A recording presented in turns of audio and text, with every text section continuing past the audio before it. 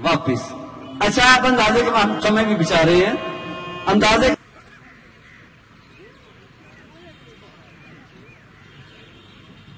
ENT department से कक्षा wise संख्या लेंगे। फिर हमने सोचा, हमें पता ही है किसकी संख्या ज़्यादा है। पीछे से शेरियों पे रहेंगे हिप्स नहीं उठेंगे धरती माता का आशीर्वाद देते हुए कुछ क्षण रुकने का प्रयास कीजिए श्वास भरते हुए धीरे धीरे वापस आएंगे ਮੈਂ ਪ੍ਰਮੋਦ ਸ਼ਰਮਾ ਜ਼ਿਲ੍ਹਾ ਅਧਿਕਸ਼ ਪਤੰਜਲੀ ਯੋਗ ਸਮਿਤੀ ਲੁਧਿਆਣਾ ਅਸੀਂ ਲੁਧਿਆਣੇ ਵਿੱਚ ਲਗਭਗ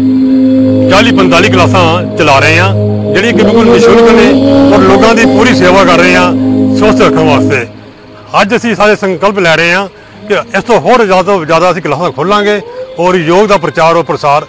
ਸਾਰੇ ਲੁਧਿਆਣੇ ਵਿੱਚ, ਸਾਰੇ ਪੰਜਾਬ, ਸਾਰੇ ਦੇਸ਼ 'ਚ ਕਰਾਂਗੇ। ਹਾਂ 15 ਅਗਸਤ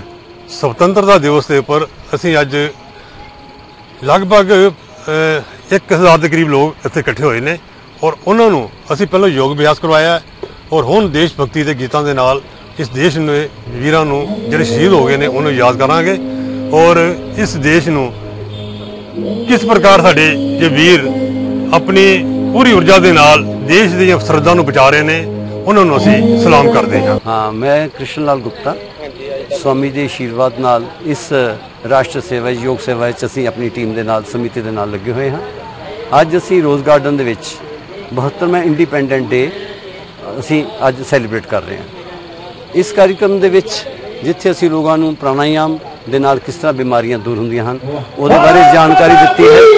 ਔਰ ਆਸਨ ਕਿਸ ਤਰ੍ਹਾਂ ਸਾਡੇ ਸਰੀਰ ਮਨ ਬੁੱਧੀ ਨੂੰ ਸਵਸਥ ਬਣਾਉਂਦੇ ਹਨ ਉਹਦੇ ਬਾਰੇ ਸਾਰੀ ਗੱਲਬਾਤ ਕੀਤੀ ਹੈ ਔਰ ਲੋਕਾਂ ਨੇ ਬੜੇ ਉਤਸ਼ਾਹ ਦੇ ਨਾਲ ਇਸ ਦੇ ਵਿੱਚ ਹਿੱਸਾ ਲਿਆ ਹੈ ਔਰ ਇਹ ਰਾਸ਼ਟਰੀ ਪਰਵ ਔਰ ਅੱਜ ਦੇਸ਼ ਦੇ ਸ਼ਹੀਦਾਂ ਨੂੰ ਯਾਦ ਕਰਨ ਦਾ ਹੈ ਉਨ ਕ੍ਰਾਂਤੀ ਵੀਰਾਂ ਭੈਣਾਂ ਨੂੰ ਯਾਦ ਕਰਨ ਦਾ ਹੈ ਜਿਨ੍ਹਾਂ ਦੇ ਕਾਰਨ ਸਾਨੂੰ ਆਜ਼ਾਦੀ ਮਿਲੀ ਹੈ ਔਰ ਉਹਨਾਂ ਨੂੰ ਵੀ ਅਸੀਂ ਅੱਜ ਯਾਦ ਕਰਦੇ ਹਾਂ ਨਮਨ ਕਰਦੇ ਹਾਂ ਜਿਨ੍ਹਾਂ ਨੇ ਇਸ ਦੇਸ਼ ਦੀਆਂ ਸਰਹੱਦਾਂ ਦੀ ਰਾਖੀ ਕੀਤੀ ਔਰ ਰਾਖੀ ਕਰ ਰਹੇ ਹਾਂ।